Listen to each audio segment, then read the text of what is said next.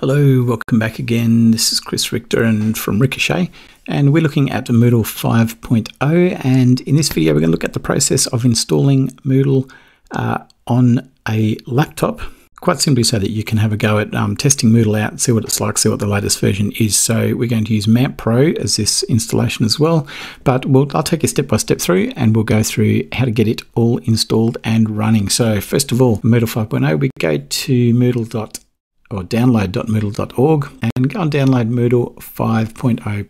You'll see that there's a couple of versions.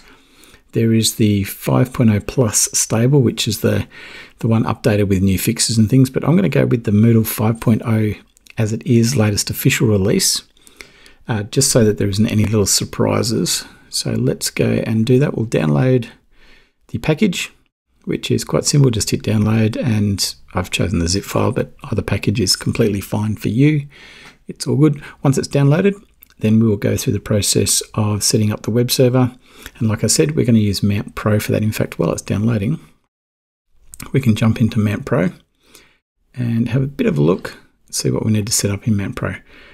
So MAMP Pro is quite simple. It, um, it runs on a Mac, which is awesome. All we need to do is go down to the plus right down the bottom and create a new site.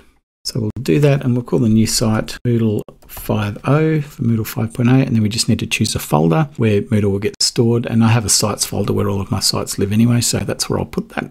So you can see I've got a brand new folder Moodle 5.0 so we'll click open for that and then choose create site. And that's all we need to do for the first part of it. So there's Moodle 5.0 just there. We do need to make sure that we have all the right important criteria though before we go any further. So let's just go and check. If we go and search in Moodle for the requirements, you'll see here in the Moodle 5.0 requirements that we have uh, upgrading from Moodle 4.23 or later. Well, we're doing a straight install, we're not doing an upgrade, so that's okay. We need to have PHP 8.2 or higher. Let's just check each thing. Here we go, 8.2. We've got up to 8.4, so 8.2.26 is completely fine. Now that's with the latest version of MAMP Pro, so make sure you've got that. Jump back again. Uh, we need the extension sodium, which we'll check that as we go. We need to update the max input vars as well. I'll show you how to do that.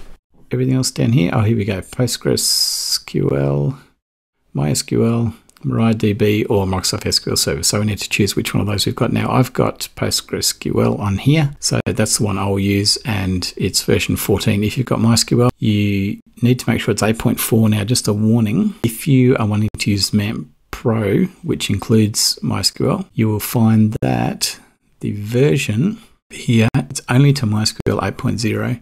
We need it to 8.4, so you can't use that, which is the reason why I'm using PostgreSQL instead. All right, and everything else should be fine. So let's go through the rest of the steps.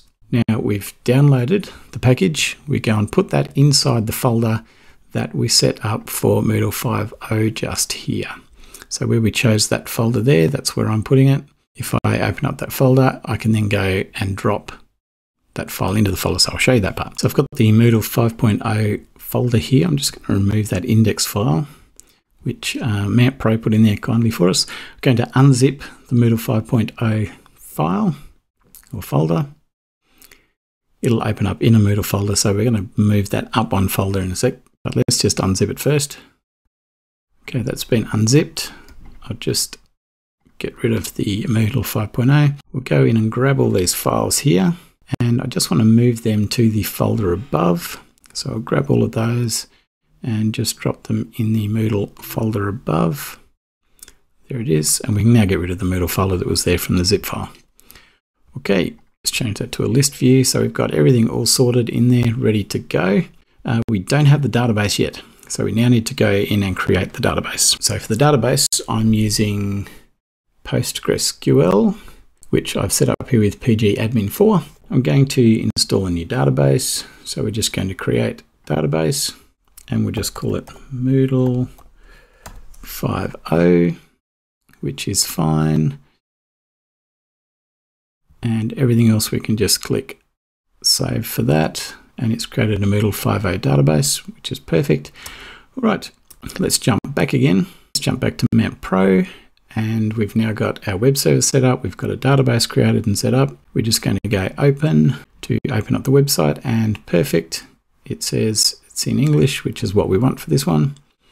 We then need to tell it where we're going to store everything. So I'm going to store everything in a folder called Moodle Data 5.0 just because I like to keep the data directory separate. The data directory is where it stores all of the other files, so student uploaded files and the cache and all sorts of other things, or cache if you call it that. Either way, that's where it's going to live. And our Moodle directory is just there, so that's all good. We just go next. We need to choose what type of database we're using, which is there. Then we need to fill in the database name, which we call it Moodle 5.0. The user, in my case, it should be the default user and password, and everything else stays the same, and we just click next. So in the background, Moodle will now go through and create all of the database tables. And once that's ready, we can then go in and see what happens next. Okay, so it's come up with the installation screen, which is fantastic because it means everything's gone fine and it's ready to go. It just asks you to confirm that you understand what it stands for, what the licensing is, and we can go continue. Now, one of the other requirements you'll notice was down here, max input vars needs to be 5,000. So we need to go in and fix that. Otherwise we can't continue with the install. Everything else seems to be there. So sodium was one that was mentioned, but sodium is already there because it's automatically already enabled in MAMP Pro. So we're right to go ahead with that one. Let's fix up this max input vars. We'll jump back to MAMP Pro in MAMP Pro, we need to go to settings and you'll see we've got general here. The language is the one we want. Looking for default version, which is in, this is in PHP. 8.2.26 is the version we're actually using here, is it? Yes, there it is there. So we just go open template beside that and just say okay to that. We just need to find max input. There it is. So it's worth a thousand at the moment. We need 5,000 for that and we'll save it and close. That up. And I'm not sure if I have to restart or not, but let's just do a check and see if it, it may pick it up straight away. Which it did. Didn't have to restart the server. Perfect. So everything else is all living in there happily. Let's go continue. Moodle then just does a quick plugins check to make sure it has all the latest versions and make sure the plugins are correct for this build. Then we just go upgrade Moodle database now and all of those plugins will be installed. Then everything should be right which is good. All those plugins are all installed. We'll go continue. If you're worried that it takes a little while to load things sometimes, that's okay. Don't panic. Just let it go, let it run. If there's any issues with it and it crashes or anything, just restart uh, your server. So you can go and restart MAMP Pro and then um, install again. So here we go. Got a username admin. I think it's good to change that to something else, but for this demo, I'll leave it exactly how it is. We'll need to put a password in there because this is the admin user account. So I'll put one of those in. I'll need to put my email address in as well. So I'll put that in and choose a few other settings and that's all we need to do. And then update profile. Just make sure you remember that password because it is the admin username and password. Don't forget it, otherwise you'll get locked out. Uh, we're just going to call this Moodle 5.0 for the site name so I remember which one it is because I've got quite a few. M50 and the default time zone, well I'm actually in Australia so We'll going to change that to Australia in Brisbane. We do need to have an email address in here, so I'll just put mine in there for now. And save changes. You do need a support email as well, so I'll put mine in there for that. That's it. It's up and running. Got it, and it looks very similar to Moodle 4 point something because we're using the Boost theme. So that part's okay. So there's one last final sort of pretty major thing that we need to do, and that is to set up the cron tasks for Moodle. Now, if you're wondering what the heck cron actually means or what it is. It's just tasks that happen in the background that keep the whole system running. So if you want to have a look at what that is first, if we go into site administration, go to tasks, down to scheduled tasks, you can see here, these are the list of all of the tasks that happen in the background. It then shows you when that was last run, when it will next be run, that task, and then how often that is going to be run. So you know, every four minutes or every seven hours and four minutes, uh, if you know we went down to a task down here somewhere, like uh, synchronized self-enrollment tasks, well, it's probably not a good example. Here we go, background processing for assignment module. Uh, that may be checking to see what's happening with assignments, whether they're due, whether it needs to update any information to do with assignments. That happens uh, basically every minute. It just every day, every every minute of every day of every hour, it runs through and does that quick check to see if a student's just submitted an assignment or what they've done, and then processes all the, the things that happen in the background. So we need to make sure that's running. Now you'll notice now that the last time that was run was Friday the 2nd of May at 11.35 a.m. Now that means that the cron was running. I've actually turned the cron off at the moment so I can show you how to set that back up. So let's go through that process. First of all, we need to find out, uh, we need to change one setting in the cron. So if we just type in cron, we need to set a path to the PHP CLI. So that means we need to go to, uh, we need to tell the system where to go to actually run this task in the background uh, automatically. Let's jump back to MAMP Pro in here and we just need to find our PHP settings. So we go to our PHP version 8.2 point, whatever that is, uh, click on here, and you can see here it's telling us where MAMP actually lives. You can see here it lives in applications bin PHP. So that's where our PHP is sitting. Uh, the configuration file happens to be in there, but all we need to do is grab that first part of that, leave the conf off the end, go back to our Moodle and paste that in and then the last bit is we just need to add on this bin slash PHP onto the end of that. It looks like that, which is that one there.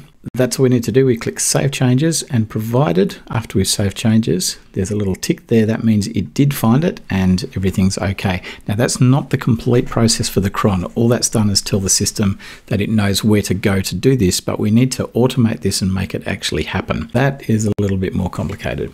So we're on a Mac. So we need to open up our terminal and here's our terminal just here. We need to go to a thing called cron tab. So we type in cron tab space dash E and press enter. And in here is where we need to put some information into our cron tab. Press I for editing, put those in. So this is the, the part that shows it every minute. So we're telling it to run this cron task that will then go and run all of those tasks in order. Put that in first. That's our first bit. And then we need to go and put that um, part that we had back in over here, this bit here, we need to put this bit in next. So that goes in. And then the last bit is we need to tell it where to actually run that file. So we need to know where PHP lives. Uh, sorry, we need to know where the server files live that we need to run. So at the moment, we're just saying this is where PHP lives. We need the other bit as well. So this is the second, this is the second part of it. To do this, we go back to MAMP Pro and we need to go here to where our site is. So this is our site address there. So we need that site folder. And then after that, we put in another slash and we put in admin slash CLI slash cron.php. So as I said, this part is the most complicated bit. So all we're doing here is setting up a background task that will run the cron, the CLI cron file, and that will then in turn activate all of those tasks that happen in the background. So once we've done that, we press escape colon WQ, which just write writes that file or saves it and then quits it. So we've done that and I'll just click allow uh, so that the can actually save that file using the admin account. And then we jump back to our Moodle. We go to tasks again, go into our scheduled tasks, and you'll see here that the last time that this was run was, let's choose one that actually happened just now, 1202, one that has to run every minute which here we go, that one there, background, background processing for assignment module. It says that had to be run uh, at 1202 and the next run will be 1203. So without clicking run now, because we don't need to, we don't want to run it manually, we want it to happen automatically. We just wait for that to tick over to the next 1203. Now what you may have to do, and it's worth doing anyway, jump back to MAMP Pro and just stop and start the server again. Now, I'm not sure whether you actually needed to do that or not. I do that anyway just to make myself feel better. And go back to our scheduled tasks and run it again or reopen the page. Should say not actually run it. And let's jump to our task we were just looking at, which is this one here. And it now says Friday 12, 2nd of May 1203 uh, was the last time it was run which is correct. And then the next one will be 1204.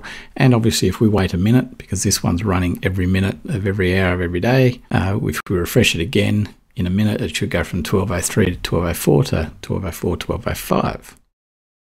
which it has done. It's now 1204 and 1205. So that means the cron is running in the background exactly how we wanted it. That was the last thing we had to do, the last major thing we had to do. Now you can get on with actually using the platform, adding all your students, doing all the other things that you need to do, adding other plugins if you need to. Hopefully that's been helpful to you. If you have any questions, please let me know. But that was the most complex part, that last bit of just getting that cron running. And now your Moodle site will work nearly flawlessly. I'll talk to you again very soon.